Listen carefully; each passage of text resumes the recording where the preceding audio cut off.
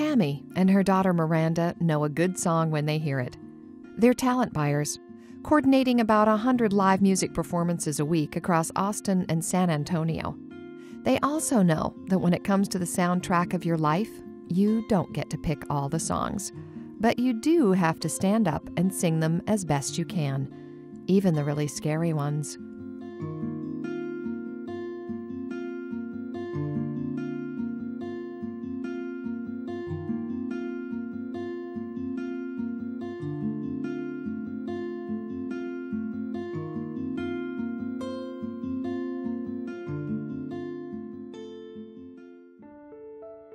In 1996, Tammy Miranda Green, a 35 year old mother of three, was taken to a hospital near her New York home after a car crash.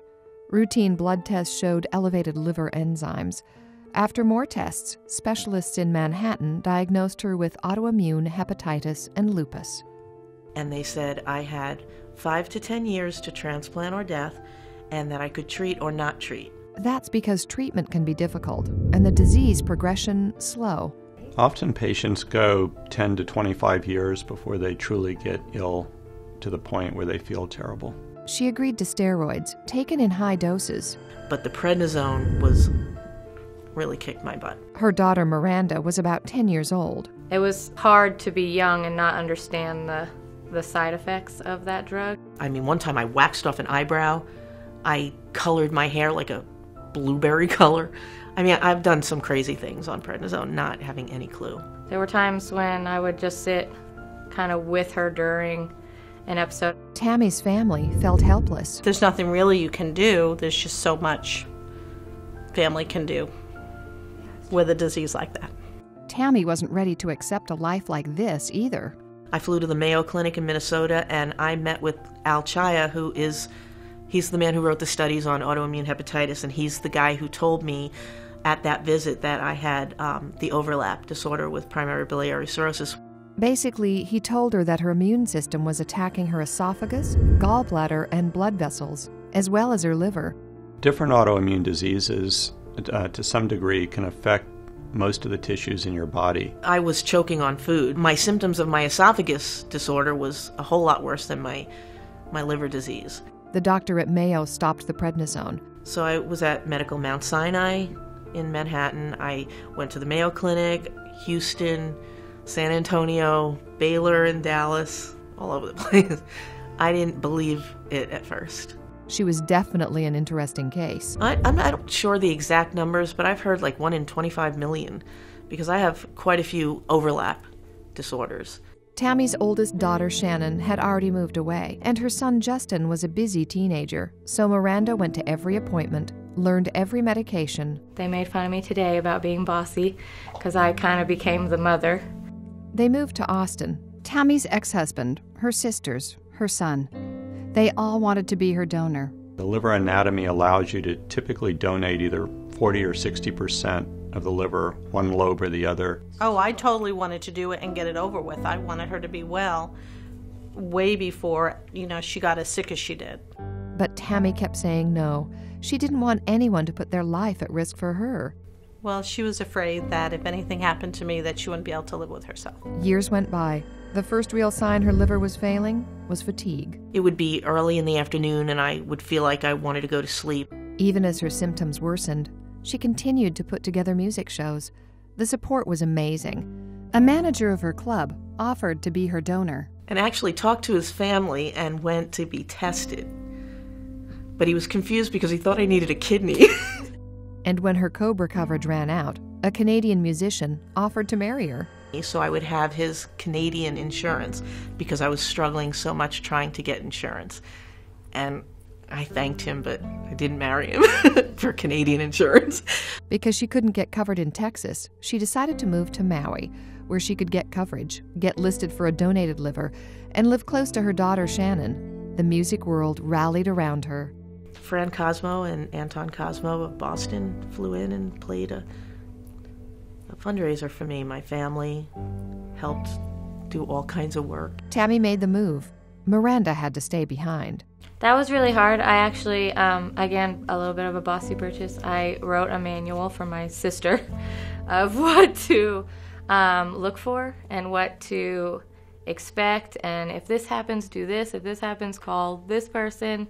You know, uh, send me photos if her eyes are looking extra yellow. But I traveled back and forth several times. Um, pretty much every time she was admitted to a hospital, I was on a plane within the same day.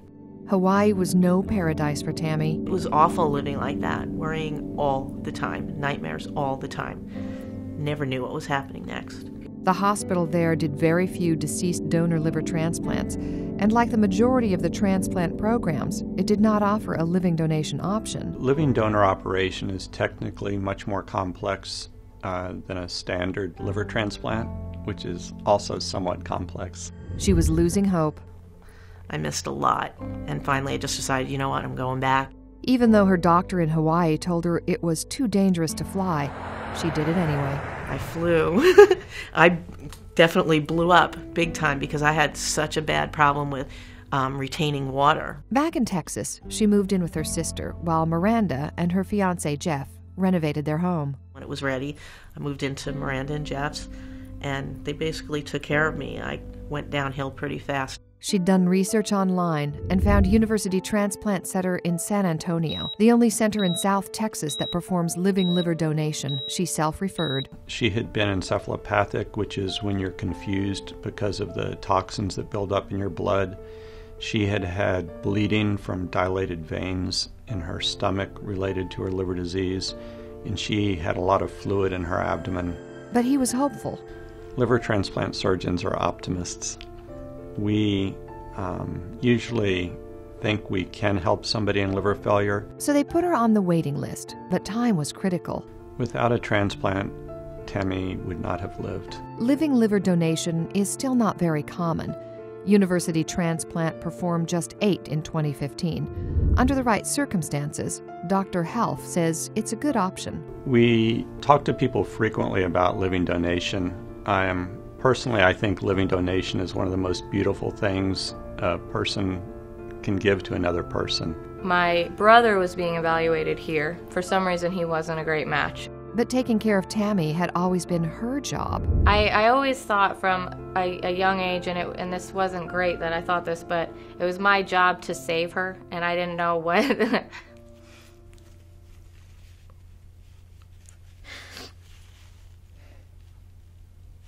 I didn't, I didn't always know what that meant. Because um, I never thought that I could actually be a donor. In Hawaii, she'd been told she was too small to donate. She found out here that was not correct.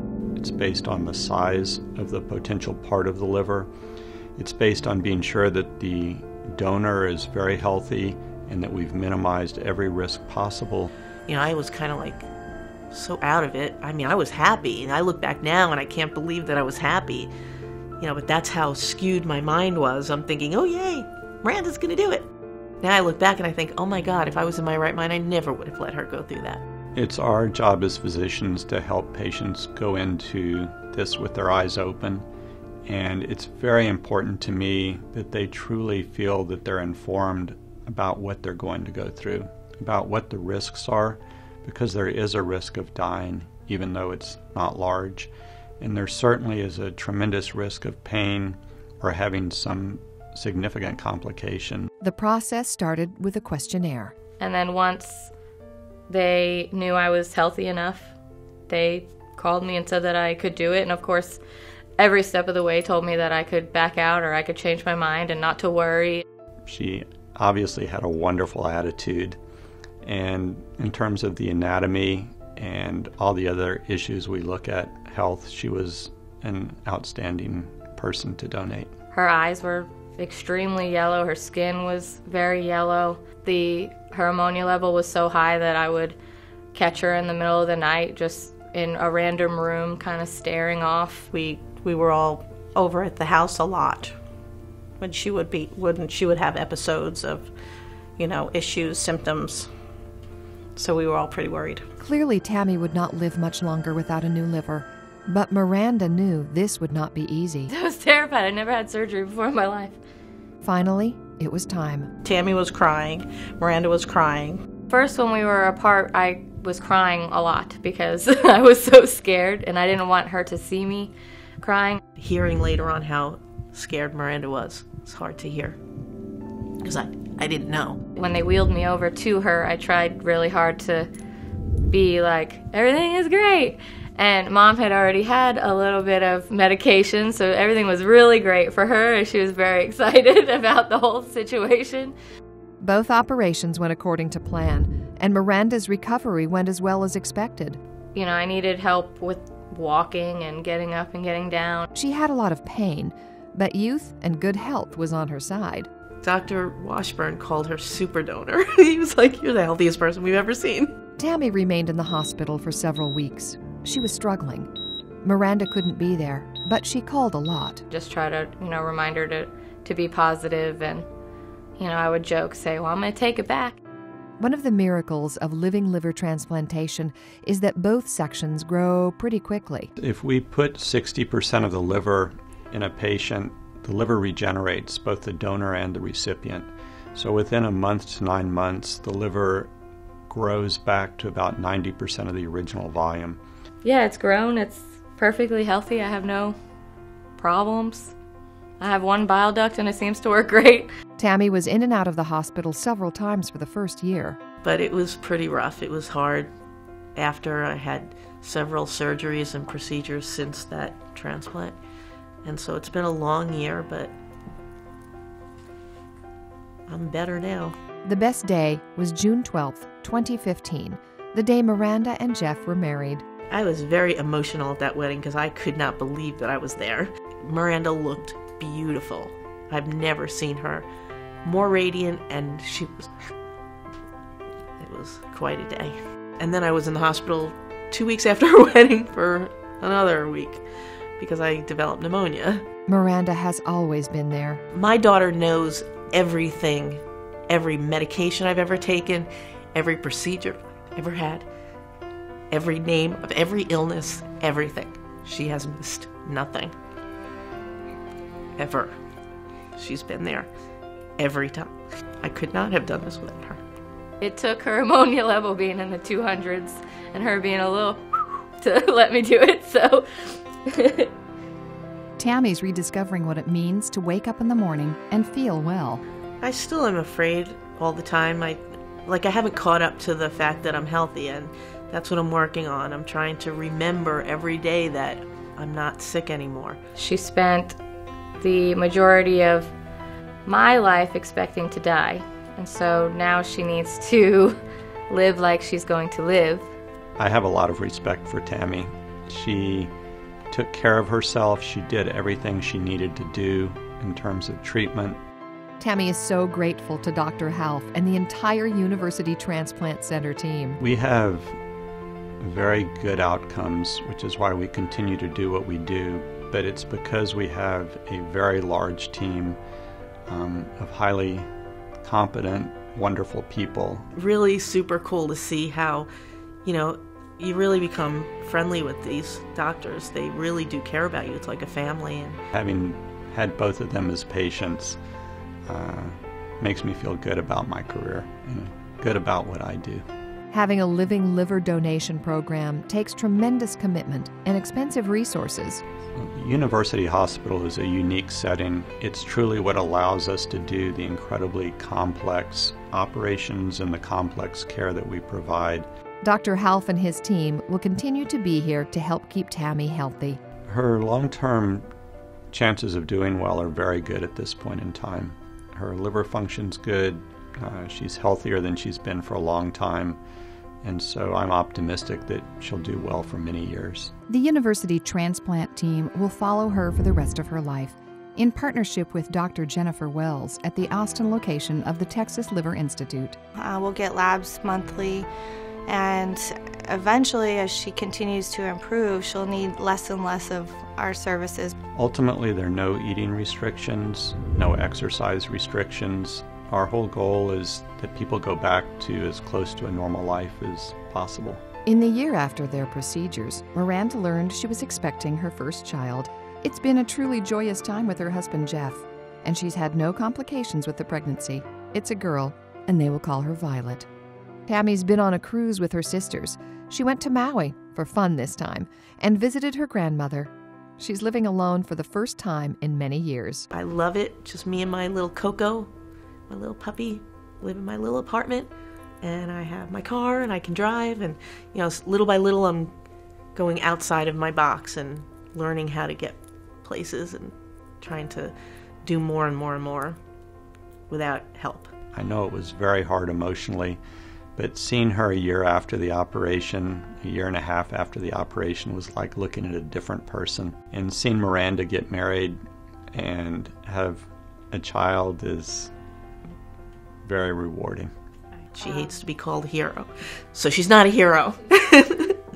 I won't say that, even though she is my hero. She can't wait to watch Miranda be a mom. Miranda's whole life, she's been a caregiver for me. There's no doubt in my mind that she is going to be the best parent ever. That child is very lucky. And there's nothing I wouldn't do for them. And they're on a mission to raise awareness for organ donation. I'm happy that we're raising awareness, and I want people to learn about the story and about, you know, what it means to be a living donor or to just be a donor in general. But I wish I could do that without the added praise because it does make me uncomfortable. Um, I'd rather them focus on mom. I mean, she's the medical miracle that this woman has survived. She has she should not be alive. People need to be educated and make the decision. Everybody should be forced to make the decision. And I don't care if half of America decides not to be a donor. The other half will, and 4,000 people a year aren't going to be dying waiting for a transplant that never comes to be because there just aren't enough Mirandas. the song for life. Sing it. The gift of love. Give it.